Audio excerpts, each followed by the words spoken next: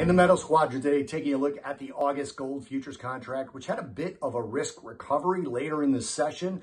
We were down 1.42% at 1826.50 in that August contract. That's versus yesterday's settlement of 1842.80. But then mid to late day, we turned up a little bit of a flight to safety, flight to quality bid going there.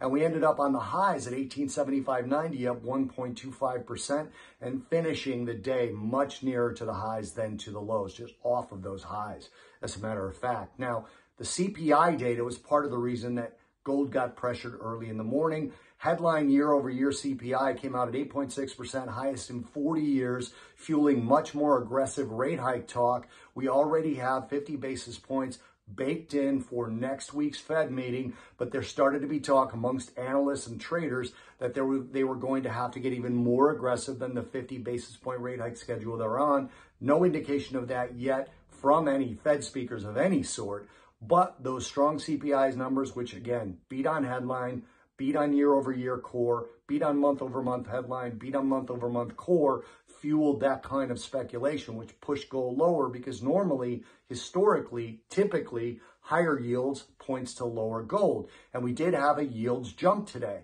We had the two year jump 21 basis points after the CPI, with the five year jump 19 basis points, the 10 year jump 13 basis points, and the 30 year jump 5 basis points.